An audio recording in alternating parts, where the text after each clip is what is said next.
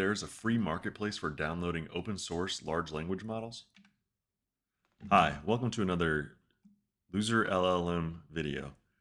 Today's video, we're going to be looking at where to find open source models using LM Studio. Loser LLM.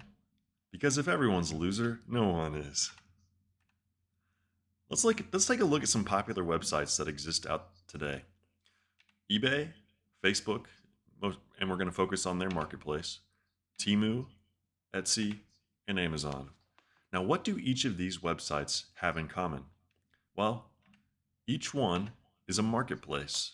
You're able, as a, as a customer, you're able to access their marketplace and browse products that are listed by sellers that can actually create profiles to sell products within them. Now let's take a look at another one. Introducing LM Studio. So LM Studio is, is very similar to these other sites in that they offer a marketplace or a shared space to download open source models. Now, why would anybody want to do this? Well, there's several reasons. We'll focus on those later. I shouldn't have even said that.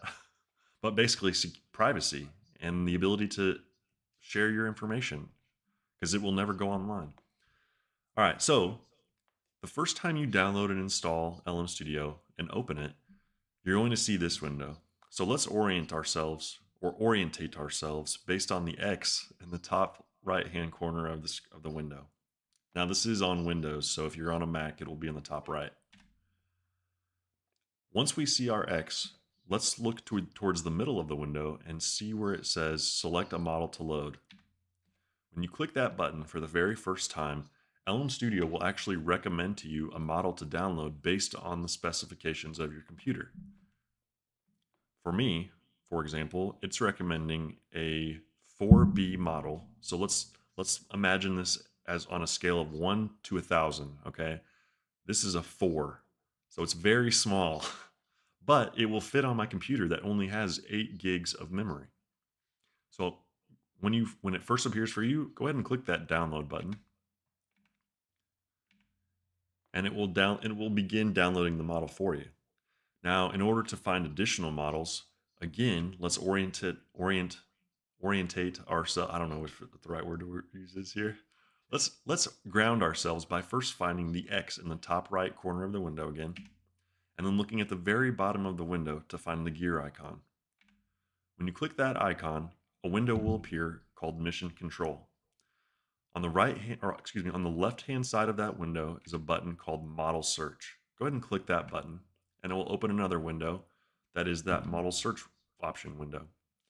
Now, you'll see listed here a variety of open source models available for you to download completely free and able to be run even after disconnecting your computer from the internet. And the great thing about this window is that here in the bottom right, when you click on a, on a model, it will let you know if it will or will not fit on your computer. After you've downloaded your first model, again, let's orient, let's ground ourselves by finding the X icon in the top right hand corner of the window, and then click on uh, select a model to load. When you click this, a drop down menu will appear and listed beneath it will be the models that you have downloaded already to your computer. So as you, as you can see, this Qwen 3 4 billion parameter model is the model that was recommended to me to download. I've completed the downloading and I'm now going to click on that icon after I clicked on that select model to load.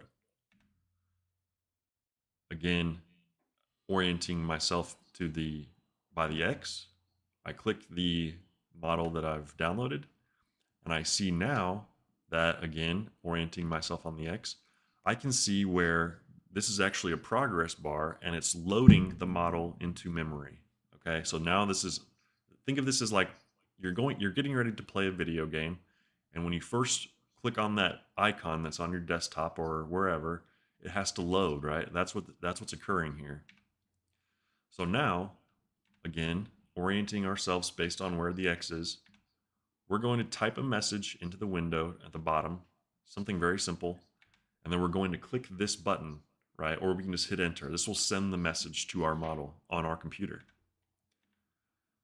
Now, after pressing enter And uh, after grounding ourselves, we can see where the model begins processing our message, right? So I kept it very simple. I just said hello. This is thinking, right? So it's thinking about the message I sent, and then it returns a reply, right? So it says it thought for 46 seconds, and then it sent a message back. Now, again, keep in mind this.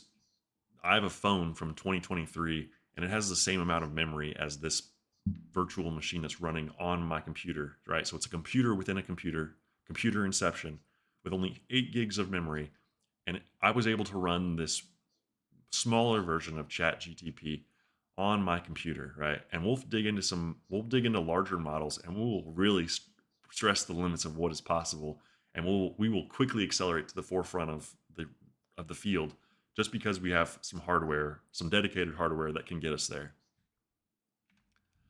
Thanks for coming to this video of Loser LLM. In the next video, we'll get set up on Langflow and we'll look at how we can actually create our very own chat interface with Langflow.